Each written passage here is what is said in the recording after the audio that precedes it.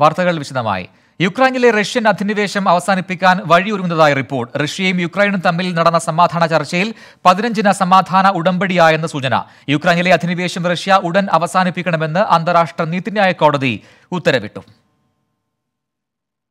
യുക്രൈനിൽ നിന്ന് സൈന്യത്തെ പിൻവലിക്കാനായി പ്രധാനമായും രണ്ട് വ്യവസ്ഥകൾ റഷ്യ മുന്നോട്ട് വെച്ചെന്നാണ് റിപ്പോർട്ട്. യുക്രൈൻ നാറ്റോ അംഗത്വത്തിന് ശ്രമിക്കില്ല. റഷ്യയ്ക്ക് ഭീഷണിയാകും വിധം മറ്റൊരു വിദേശ രാജ്യത്തിന്റെയും സൈനിക സാന്നിധ്യം യുക്രൈനിൽ അനുവദിക്കില്ല. ഈ വ്യവസ്ഥകൾ പാലിക്കാൻ യുക്രൈൻ സന്നദ്ധത അറിയിച്ചെന്നും റഷ്യ യുക്രൈൻ സമാധാന ചർച്ചയിൽ പങ്കാളികളായ മൂന്ന് പ്രതിനിധികളെ ഉദ്ധരിച്ച് ഫിനാൻഷ്യൽ ടൈംസ് റിപ്പോർട്ട് ചെയ്തു. എന്നാൽ ഇതു സംബന്ധിച്ച ഔദ്യോഗിക വിശദീകരണം റഷ്യയോ യുക്രൈനോ പുറത്തുവിട്ടിട്ടില്ല. യുക്രൈനിലെ അധിനിവേശം റഷ്യ ഉടൻ അവസാനിപ്പിക്കണമെന്ന് അന്താരാഷ്ട്ര നീതിന്യായ കോടതി ഉത്തരവിട്ടു. യുദ്ധക്കുറ്റം ആരോപിച്ച് റഷ്യക്കെതിരെ യുക്രൈൻ നൽകിയ പരാതിയിലാണ് അന്താരാഷ്ട്ര നീതിന്യായ കോടതിയുടെ വിധി. അതേസമയം അധിനിവേശത്തിന്റെ ഇരുപത്തിയൊന്നാം ദിനവും യുക്രൈനുമേൽ റഷ്യ ആക്രമണം ശക്തമാക്കി. ചെർണീവിൽ ഭക്ഷണത്തിനായി വരിനിന്നവർക്കെതിരെ റഷ്യ നടത്തിയ ആക്രമണത്തിൽ പത്തുപേർ കൊല്ലപ്പെട്ടതായി അമേരിക്കൻ എംബസി അറിയിച്ചു. തലസ്ഥാന നഗരമായ കീവിൽ വൻ സ്ഫോടനങ്ങളുണ്ടായി. ഒഡേസ നിപ്രോ ലീവ് എന്നീ നഗരങ്ങളിലും റഷ്യ വ്യോമാക്രമണം നടത്തി. തെക്കൻ നഗരമായ മരിയൂപ്പോളിൽ കിഴക്കുനിന്നും തെക്കുനിന്നും ആക്രമണം ശക്തമാക്കി. ഇവിടെ ഒരാശുപത്രിയിൽ നാനൂറോളം രോഗികളെയും ഡോക്ടർമാരെയും റഷ്യൻ സൈന്യം ബന്ദികളാക്കിയിരിക്കുകയാണെന്ന് പ്രാദേശിക ഭരണകൂടം അറിയിച്ചു. ബെർഡിയാൻസ്ക് മെലിറ്റോപോൾ എന്നിവിടങ്ങളിലും ആക്രമണം രൂക്ഷമാണ്. ഖേഴ്സൺ വിമാനത്താവളത്തിൽ നിരവധി റഷ്യൻ ഹെലികോപ്റ്ററുകൾ യുക്രൈൻ സൈന്യം നശിപ്പിച്ചു. ഇതിന്റെ ഉപഗ്രഹ ചിത്രങ്ങൾ അമേരിക്കൻ ബഹിരാകാശ സാങ്കേതിക വിദ്യാ കമ്പനിയായ പ്ലാനറ്റ് ലാബ്സ് പുറത്തുവിട്ടു. ആക്രമണത്തിൽ റഷ്യയുടെ വൺ ഫിഫ്റ്റി മോട്ടോറൈറ്റ്സ് റൈഫിൾ ഡിവിഷന്റെ കമാൻഡർ മേജർ ജനറൽ ഒലക് മിത്യോവിനെ കൊല്ലപ്പെട്ടതായും യുക്രൈൻ അവകാശപ്പെട്ടു. അതേസമയം സമാധാന ചർച്ചകളിൽ ഇപ്പോൾ റഷ്യ കൂടുതൽ യാഥാർത്ഥ്യബോധത്തോടെ പെരുമാറുന്നുണ്ടെന്ന് യുക്രൈൻ പ്രസിഡന്റ് വളോഡിമിർ സെലൻസ്കി അറിയിച്ചു. യുക്രൈനുമായുള്ള ഒത്തുതീർപ്പ് ചർച്ചയിൽ പ്രതീക്ഷയുണ്ടെന്ന് റഷ്യൻ വിദേശകാര്യമന്ത്രി സെർജി ലാവറോവും നേരത്തെ പ്രതികരിച്ചിരുന്നു. പ്രതിസന്ധി ചർച്ച ചെയ്യാൻ American president Joe Biden Europe സന്ദർശിക്കുമെന്ന് White House അറിയിച്ചു. ഇന്റർനാഷണൽ ഡെസ്ക് ട്വന്റി ജപ്പാനിൽ ശക്തമായ ഭൂചലനം അനുഭവപ്പെട്ടു. റിക്ടർ സ്കെയിലിൽ ഏഴ് ദശാംശം മൂന്ന് തീവ്രതയാണ് രേഖപ്പെടുത്തിയത്. ഫുക്കുഷിമ കടത്തീരത്താണ് ഭൂചലനം അനുഭവപ്പെട്ടത്. ഫുക്കുഷിമ മിയാഗി യമഗത എന്നീ നഗരങ്ങളിൽ തുടർചലനങ്ങൾക്ക് സാധ്യതയുണ്ടെന്ന് കാലാവസ്ഥാ വിഭാഗം മുന്നറിയിപ്പ് നൽകിയിട്ടുണ്ട്. ജപ്പാന്റെ വടക്ക് കിഴക്കൻ തീരത്ത് സുനാമി മുന്നറിയിപ്പും പ്രഖ്യാപിച്ചിട്ടുണ്ട്. ആളപായം റിപ്പോർട്ട് ചെയ്തിട്ടില്ല. വടക്ക് കിഴക്കൻ ജപ്പാനിലെ പലയിടങ്ങളിലും വൈദ്യുതടസ്സമുള്ളതായി റിപ്പോർട്ടുകൾ പുറത്തുവന്നിട്ടുണ്ട്. സൗദിയുടെ പ്രതിദിന എണ്ണ ഉൽപാദനത്തിൽ റെക്കോർഡ് വർധനവ്. ഫെബ്രുവരി മാസത്തെ ഉൽപാദനത്തിലാണ് വലിയ വർധന രേഖപ്പെടുത്തിയത്. ഒപ്പക് കരാർ പ്രകാരമുള്ള പ്രതിദിന ക്വാട്ടയ്ക്ക് മുകളിൽ ഒരു കോടിയിലേറെ ബാരൽ ഉൽപാദനം നടത്തിയാണ് റെക്കോർഡ് സൃഷ്ടിച്ചത്. ഫെബ്രുവരിയിൽ അവസാനിച്ച കണക്കുകളിലാണ് റെക്കോർഡ് ഉൽപാദന വർധനവ് രേഖപ്പെടുത്തിയത്. സൗദി ഉൾപ്പെടെയുള്ള ഒപെക് കൂട്ടായ്മയിലെ മറ്റു രാഷ്ട്രങ്ങളും വർധനവ് വരുത്തിയിട്ടുണ്ട്. ഒപെക് ഇതര രാജ്യങ്ങളുടെ ഉൽപാദനത്തിലും വർധനവ് വന്നതായി റിപ്പോർട്ടിൽ ചൂണ്ടിക്കാട്ടുന്നു.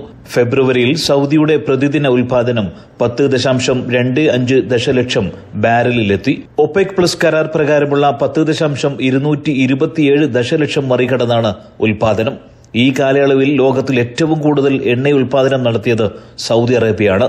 സ്വതന്ത്ര ഉൽപാദക രാജ്യമായി റഷ്യയെ മറികടന്നാണ് സൗദി വീണ്ടും ഈ നേട്ടത്തിന് അർഹമായത്.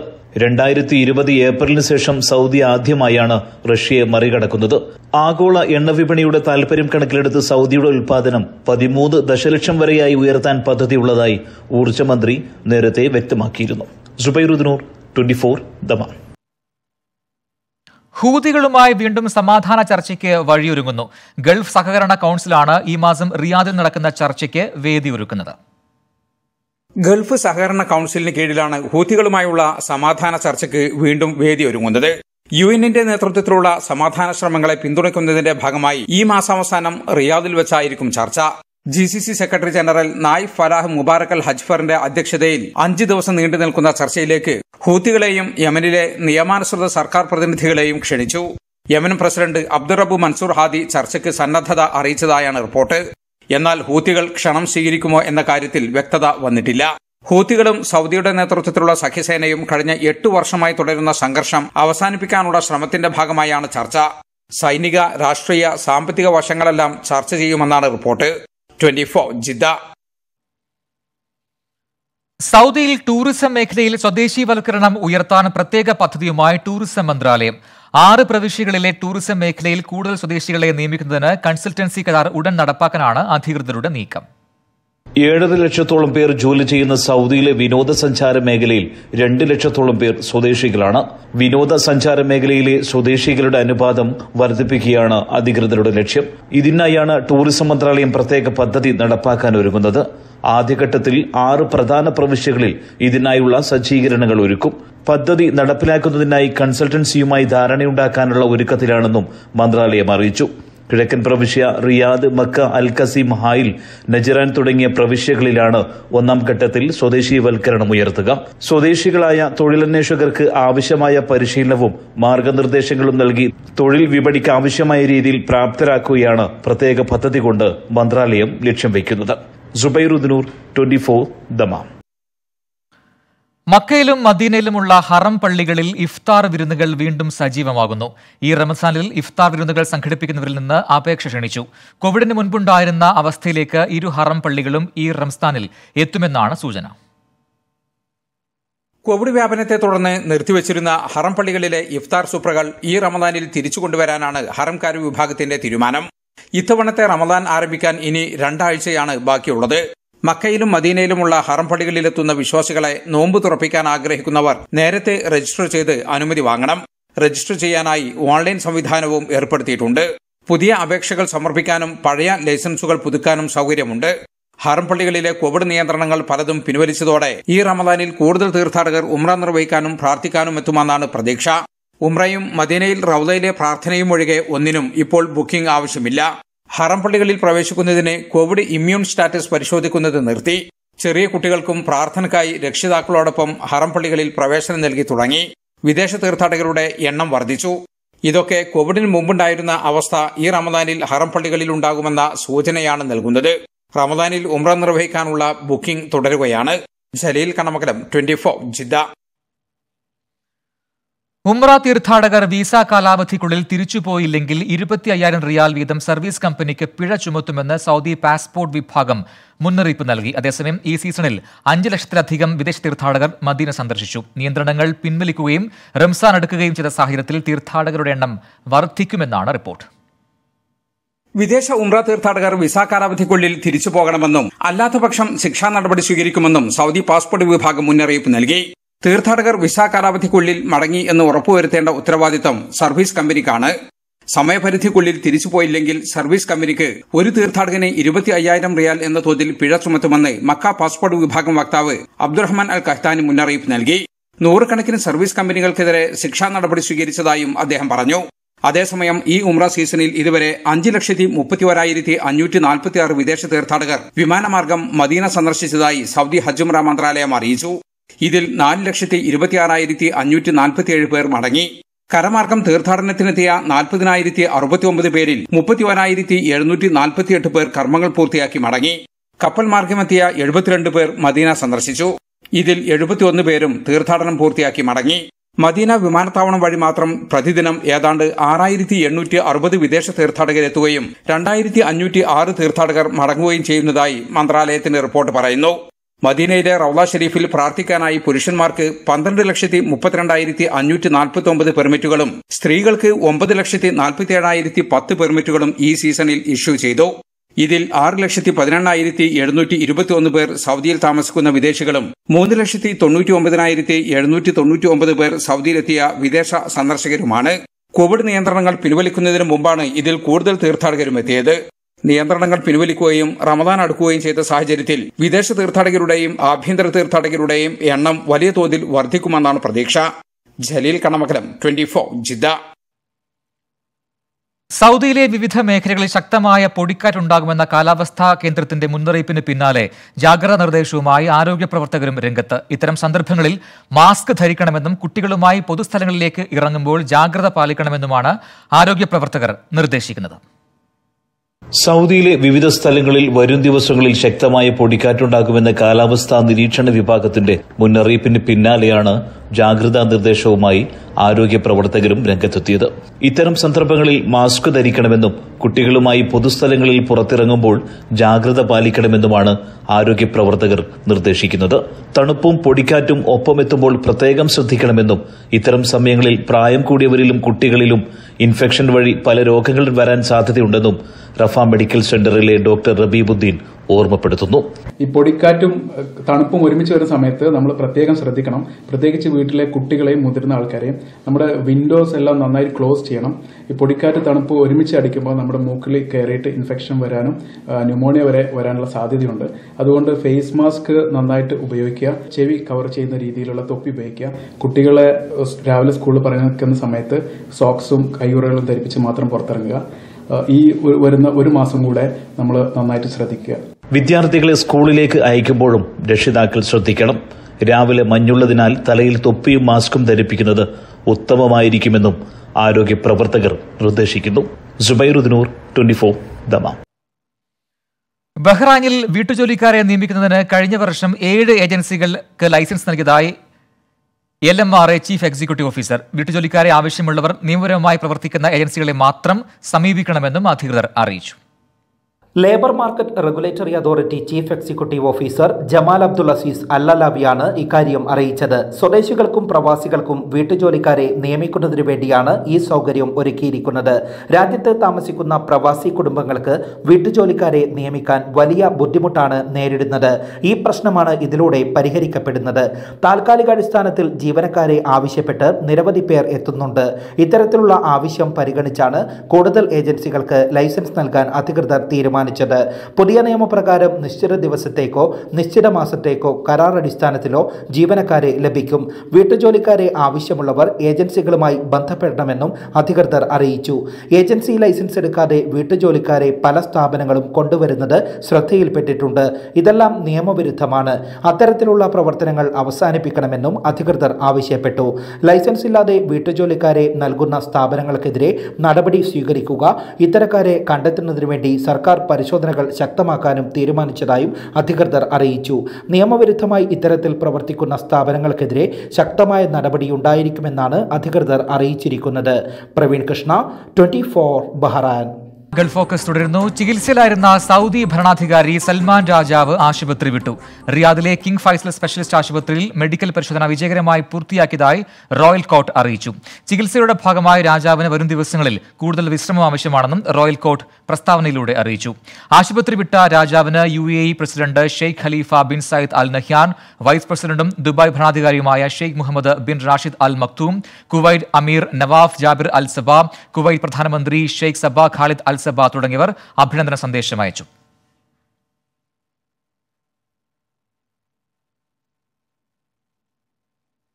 പൊലിയരുത് ആത്മവിശ്വാസം എന്ന ശീർഷകത്തിൽ സൈൻ ജിദ്ദ ചാപ്റ്ററിന്റെ നേതൃത്വത്തിൽ ഡെലിഗേറ്റ്സ് മീറ്റ് സംഘടിപ്പിക്കുന്നു. വെള്ളിയാഴ്ച രാത്രി ഏഴ് മണിക്ക് ജിദ്ദയിലെ സീസൺസ് ഓഡിറ്റോറിയത്തിൽ നടക്കുന്ന പരിപാടി Abeer group president Alungal Muhammad ഉദ്ഘാടനം ചെയ്യും. സൗദിയിൽ പ്രവാസികളെ കാത്തിരിക്കുന്ന വിപുലമായ അവസരങ്ങളെക്കുറിച്ച് പ്രമുഖ അറബ് മാധ്യമപ്രവർത്തകൻ Khalid Al Maina Rashid Ghazali Muhammad Bashamakh Nishad doctor Ismail Marutheri K C Abdurahman എന്നിവർ സംസാരിക്കും.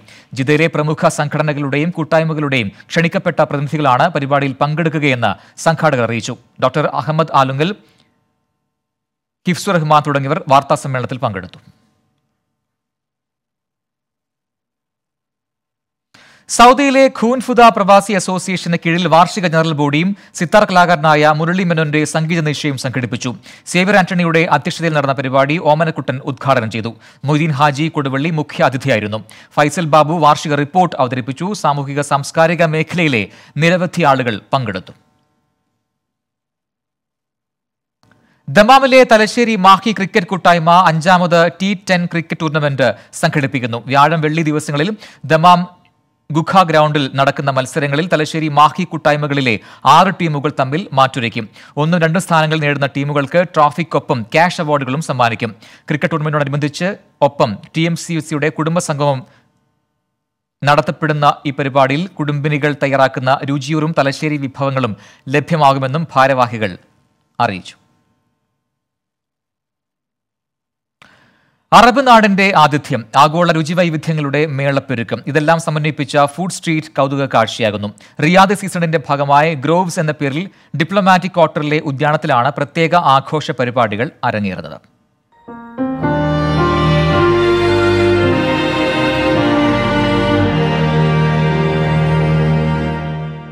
രാജ്യാതിർത്തി കടന്ന അനുഭവമാണ് ഗ്രോവ്സ് ഉദ്യാനത്തിലേക്ക് കടന്നാൽ ലഭ്യമാവുക. പാശ്ചാത്യ നാടിനെ അനുസ്മരിക്കുന്ന ഭക്ഷണ തെരുവ അറബിക് ഗഹുവയും സ്പാനിഷ് ലാത്തയും തുർക്കിഷ് കോഫിയും തുടങ്ങി ആഗോള ഭക്ഷ്യവിഭവങ്ങളും പാനീയങ്ങളും ഇവിടെ സുലഭം. നഗരഹൃദയത്തിൽ ഡിപ്ലോമാറ്റിക് ക്വാർട്ടറിലുള്ള അൽകുസാമ ഉദ്യാനമാണ് ഗ്രോവ്സ് വേദിയാക്കി മാറ്റിയത്. അന്താരാഷ്ട്ര ഭക്ഷ്യവിഭവ ശൃംഖലകളുടെ ഔട്ട്ലെറ്റുകൾ അത്യാഡംബര റെസ്റ്റോറന്റുകൾ എന്നിവയാണ് ഇവിടുത്തെ പ്രത്യേകത. വിവിധ കലാപ്രകടനങ്ങൾക്ക് പ്രത്യേക വേദിയും ഒരുക്കിയിട്ടുണ്ട്. സുഗന്ധദ്രവ്യങ്ങൾ വസ്ത്രശേഖരങ്ങൾ ചിത്രരചന പെയിന്റിംഗ് തുടങ്ങി ഗ്രോവ്സിനെ വൈവിധ്യങ്ങളുടെ പൂന്തോട്ട കാഴ്ചയാക്കി മാറ്റിയിരിക്കുകയാണ് സംഘാടകർ. സന്ദർശകർക്ക് വളർത്തുമൃഗങ്ങളെ കൊണ്ടുവരാനും മറ്റുള്ളവരുടെ പെറ്റുകളുമായി ഇടപഴകാനും ലൂക്കാലാൻഡ് എന്ന പേരിൽ പ്രത്യേക കോമ്പൗണ്ടും ഒരുക്കിയിട്ടുണ്ട്. ഇവയെ പരിചരിക്കാനും ഭക്ഷണം നൽകാനും പരിശീലനം നേടിയവരുടെ സേവനവും ലഭ്യമാണ്. സന്ദർശകർക്ക് നവ്യ അനുഭവങ്ങൾ സമ്മാനിക്കുന്ന നിരവധി കാഴ്ചകളാണ് ഗ്രോവ്സിൽ ഒരുക്കിയിട്ടുള്ളത്. Noufal പാലക്കാടനൊപ്പം Nasaruddeen Vijay twenty four Riyadh.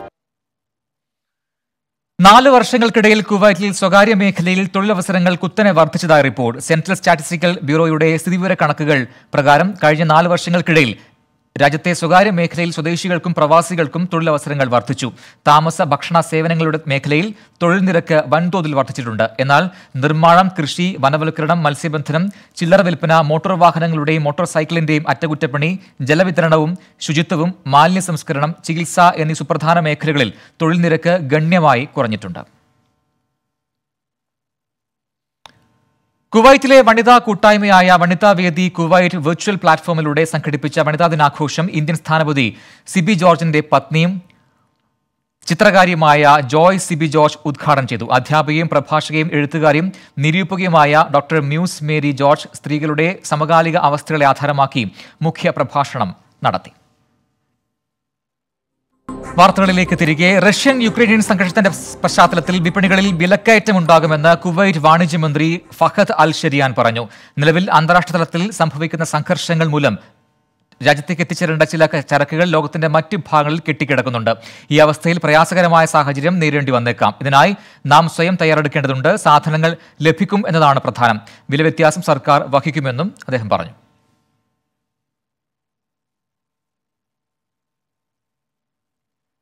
G twenty three യോഗത്തിലെ നിർദ്ദേശങ്ങളുമായി ഗുലാം നബി ആസാദ് നാളെ സോണിയാഗാന്ധിയെ നേരിൽ കണ്ട് നിർദ്ദേശങ്ങൾ ബോധിപ്പിക്കും. കോൺഗ്രസിന്റെ മുന്നോട്ടുള്ള യാത്രയ്ക്ക് കൂട്ടായ നേതൃത്വം ആവശ്യമെന്ന് ജി ട്വന്റി ത്രീ നേതാക്കൾ പറയുന്നു. സംഘടനയുടെ എല്ലാ തലത്തിലും ചർച്ചകൾ നടത്തി തീരുമാനമുണ്ടാകണമെന്ന് ഡൽഹിയിലെ യോഗത്തിനു ശേഷം നേതാക്കൾ പ്രസ്താവന പുറത്തിറക്കി. അതേസമയം അഞ്ച് സംസ്ഥാനങ്ങളിലെ തെരഞ്ഞെടുപ്പ് തോൽവി അന്വേഷിക്കാൻ കോൺഗ്രസ് നേതൃത്വം കമ്മീഷനെ നിയോഗിച്ചിട്ടുണ്ട്.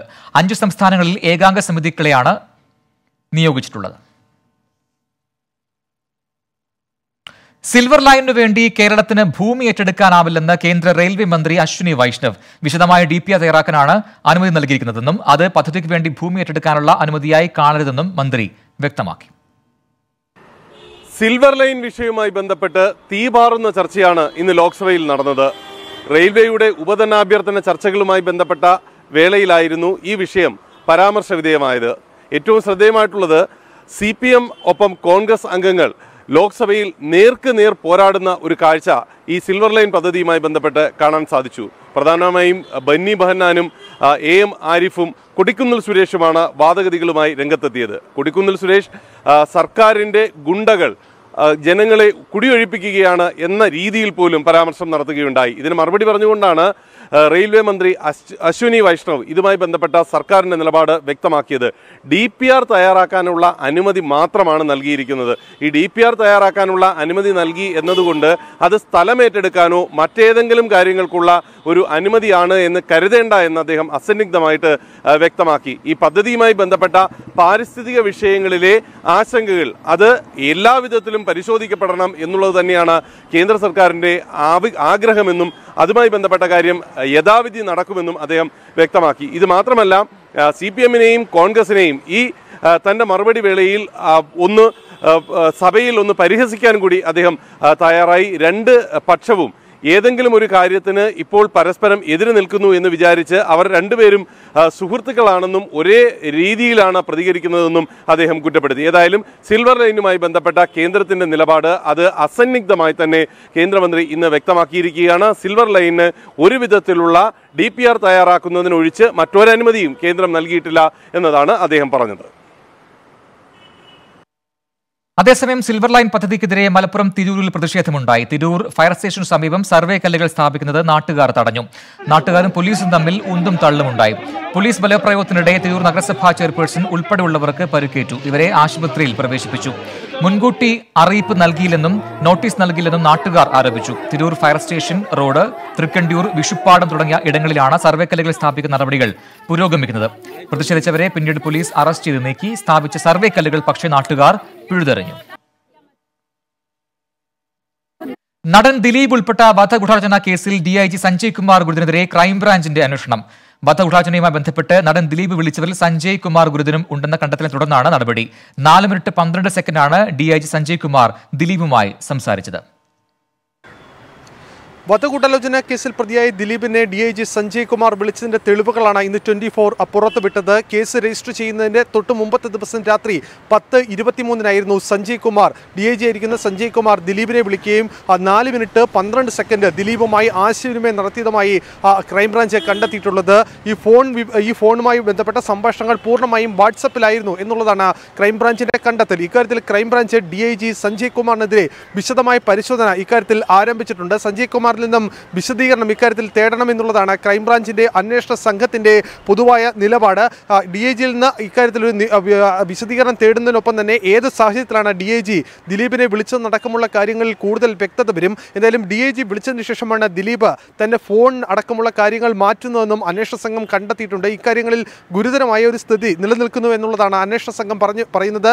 ഇക്കാര്യത്തിൽ വിശദമായ പരിശോധന ഇപ്പോൾ പോലീസിന്റെ ഭാഗത്തു നിന്നും ക്രൈംബ്രാഞ്ചിന്റെ ഭാഗത്തു നിന്നും ആരംഭിച്ചു കഴിഞ്ഞു. ദിലീപിനെ സഹായിക്കാൻ ഏതെങ്കിലും തരത്തിൽ ഡി ഐ ജി ശ്രമിച്ചിട്ടുണ്ട് എന്ന് തെളിഞ്ഞാൽ ഗുരുതരമായ നടപടികളടക്കം ഡി ഐ ജിക്കെതിരെ ഉണ്ടാകും എന്നുള്ളതാണ് നിലവിൽ ലഭിക്കുന്ന വിവരം. ദിലീപിന്റെ അഭിഭാഷകർക്കെതിരെ നൽകിയ പരാതിയിൽ നടിക്ക് മറുപടിയുമായി ബാർ കൌൺസിൽ. നടി നൽകിയ പരാതിയിൽ നിരവധി തെറ്റുകളുണ്ടെന്നും അവ തിരുത്തി രേഖാമൂലം നൽകണമെന്നും നടിയോട് ബാർ കൗൺസിൽ ആവശ്യപ്പെട്ടു. പരാതിയുടെ മുപ്പത് പകർപ്പും രണ്ടായിരത്തി അഞ്ഞൂറ് രൂപ ഫീസും അടക്കണമെന്നും ബാർ കൗൺസിൽ നിർദ്ദേശം നൽകി. സാക്ഷികളെ സ്വാധീനിക്കാനും തെളിവ് നശിപ്പിക്കാനും ബി രാമൻപിള്ള അടക്കമുള്ളവർ നേതൃത്വം നൽകിയതായും അഭിഭാഷകർക്കെതിരെ നടപടി വേണമെന്നും ആവശ്യപ്പെട്ട് നേരത്തെ നടി ബാർ കൗൺസിലിന് പരാതി നൽകിയിരുന്നു. Gulf August പൂർത്തിയാവുന്നു. Good night.